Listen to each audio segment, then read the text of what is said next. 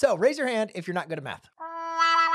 All right, that might be a little awkward, but maybe nod your head if you've ever said those words or you've heard somebody say the same thing. Because unfortunately, I think it's pretty common and it's become pretty normalized not to be good at math. And a lot of students just believe they are not good at math because they are not good at math type of people. Well, in this video, what I want to do is dive in a little bit deeper on what are the exact thoughts that make us think that we are not good at math and how can we reframe our thoughts so therefore that we can be successful in math, have a little bit better of a time, maybe enjoy a little bit more of success, and maybe reduce a little bit of the stress that so often comes with students when they are trying to do their math. Now, the number one reason why students feel they are not good at math is because thoughts from their past. Now, these can be thoughts from the past of an experience or maybe what some other people have told them. So, one of the more common ones is like if a student has had trouble with math, like maybe they had a really hard math class, maybe they can relate to some earlier struggles, or maybe they failed a quiz, a test, maybe they got everything wrong on a homework assignment and got embarrassed being in front of their friends. Maybe they had a horrible teacher that was really bad at teaching them mathematics and maybe might have said to them that, hey, you're not good at math, or maybe you should go into another field. It's sad that it happened. That's really mean. And unfortunately, people tell me this all the time that their parents, their teachers, their friends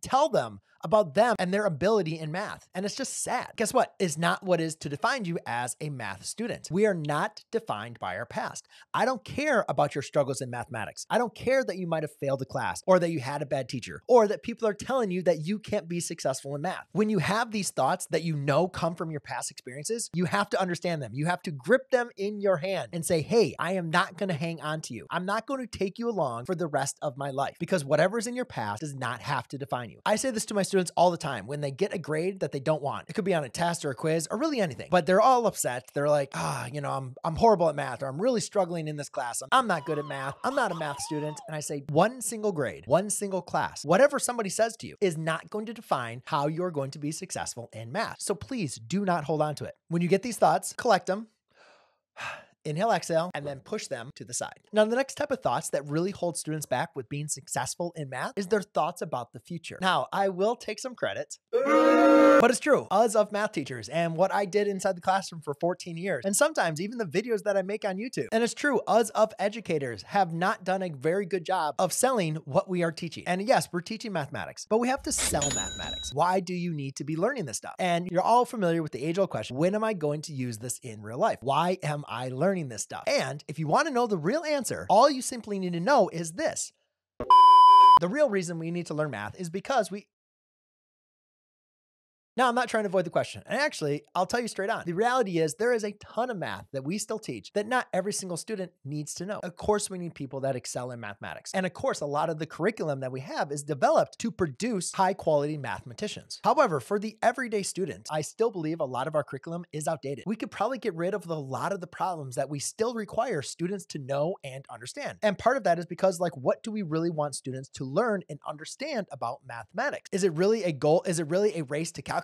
Or do we need students to be able to have a better understanding of a larger variety, or do we need students to have a better understanding of different topics in mathematics that often get overlooked in high school and college curriculums? Now, let me be clear. Let me be crystal clear. I am a huge proponent of students still going through math. I do not believe that we should just know how to add, subtract, multiply, and divide. I believe students need to be exposed to higher level mathematics, and I really do want everybody to expose to calculus topics. But I don't think the way that things have been done is the best way for us to be moving forward as far as teaching teaching and introducing the concepts for students to learn and understand. If you don't feel like you're good at math, then you're not going to care on what you're learning. You're going to feel like it's a complete waste of time. And guess what? If you feel like it's a complete waste of time, you're not going to put your time energy, and effort into doing well in your class or learning the material. Now, obviously, if you're in a math field, that's a big problem. But what about if you're studying something that does not require mathematics, but you still have to be taking a certain class? Understand that, yes, I get it. Sometimes there are classes, sometimes there are things that we have to do that we do not see the direct application in real life. I know math always gets the blame, but I can probably say that for a majority of stuff that I learned in high school and in college that I've never used since then. But I'm a lot of times I remember studying and going through classes. I did not want to do it. But I pushed my way through those classes because I looked at the future. I knew that I needed to pass the class. I needed to be successful in the class.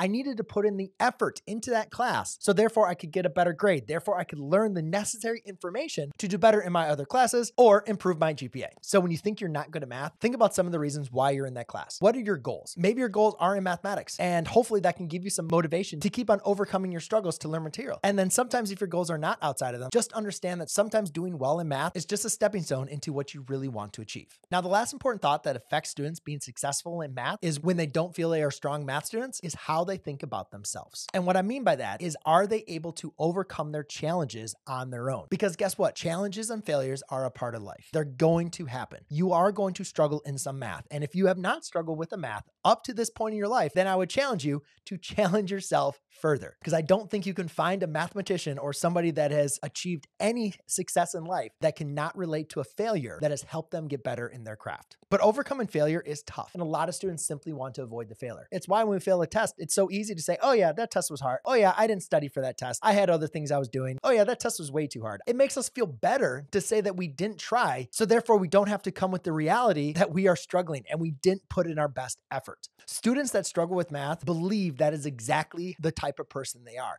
They believe that everybody that does well in math, everybody that understands, was born that way, and that is why they're good at math. They maybe have smart parents, or they went to a better elementary school, or whatever excuse they can come up with. It's always something else rather than the work, the effort, and the time that those students had put in to that class. You really got to reflect on your thoughts. Do you believe in your ability to overcome your challenges? And sometimes, if you have not had past experiences, it's going to take a little bit of time. It's going to take some small successes. And so you can start seeing the power in your ability to change your behavior and to improve your understanding in math. You have to see a positive future. You have to be able to let go of the past. And you have to be able to understand that no matter what challenge that is in front of you, you can improve. Don't let a bad test or a grade saddle you. And don't feel that learning math is completely useless for your future or for your studies. Know that if you can do more problems, practice, study, you can improve. It's not going to come overnight. It takes time. You have to be patient because math is hard. It doesn't come easy. But just because it comes easy to some people doesn't mean everything came easy to them. Of course, experiences are going to differ from student to student, but don't compare yourself to other students. You can only compare yourself to yourself. And so I want to challenge you if you have these thoughts of you are not good at math to really understand where are they coming from and to get rid of them.